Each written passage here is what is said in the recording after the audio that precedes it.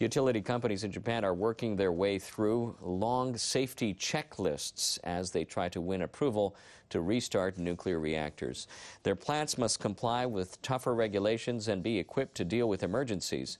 So, one thing they are doing is investing in cutting edge technology to be better prepared. NHK World's Noriko Okada shows us how. It works slowly and methodically, but it gets the job done. These engineers are learning how to manipulate remote control robots to deal with nuclear plant emergencies. Step by step, they perform increasingly complex operations at this training facility. Companies that operate nuclear plants are funding the projects.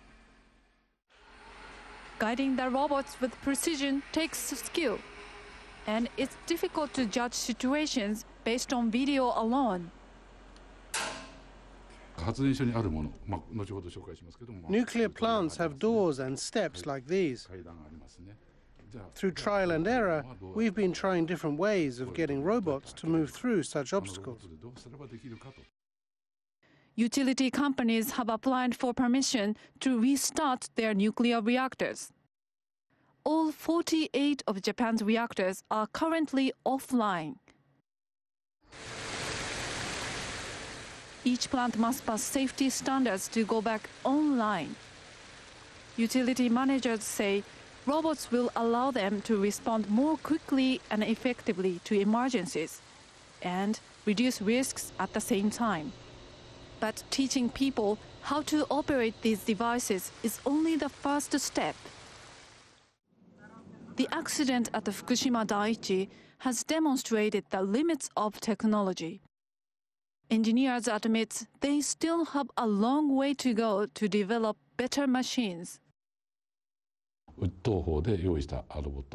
We're using robots that are developed for military use and other purposes.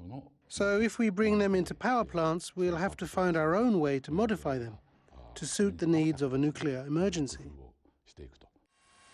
Nuclear regulators have ordered operators to put measures in place to deal with all stages of an accident, such as the release of radiation or damage to fuel rods.